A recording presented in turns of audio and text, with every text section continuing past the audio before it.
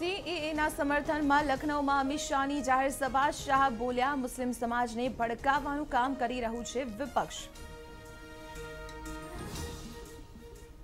જમ્મુ કાશ્મીરના અવંતીપુરામાં સેનાની આતંકવાદીઓ સાથે અથડામણ. એક આતંકી ઠાર સેનાના બે જવાન થયા ઘાયલ. સુરતા રઘુવીર કોમ્પ્લેક્સમાં લાગેલી આગ હજુ પણ બેકાબુ. હવે ગ્રાઉન્ડ ફ્લોર સુધી પણ પ્રસરી આગ. ફાયર બ્રિગેડની સાથે સાથે એનડીઆરએફની ટીમ પણ લાગી કામે. મહેસૂલ પ્રધાન કૌશિક પટેલે આગ મુદ્દે આપી તપાસની ખાતરી, કહ્યું, સમગ્ર મુદ્દે લેવાશે કડક પગલાં, તો બિલ્ડિંગને સીલ મારીને બીયુસી પણ કરાશે રદ. હવાના પ્રદૂષણને લઈને હાઈકોર્ટનો મહત્વનો ચુકાદો, હવે બીએસ ફોર વાહનોનું જ આરટીઓમાં થશે registration, BS two, BS three વાહનોનું રી રજીસ્ટ્રેશન પણ નહીં થાય.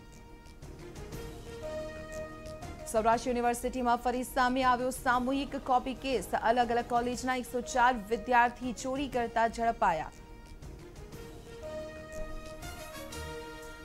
કેનેડામાં આણંદની યુવતીની હત્યા થવાના કેસમાં હવે પતિનો મળ્યો મૃતદેહ. ધરપકડ વોરંટ જાહેર થતા રાકેશ હતો ફરાર. આત્મહત્યા કરી હોવાનું પ્રાથમિક તારણ.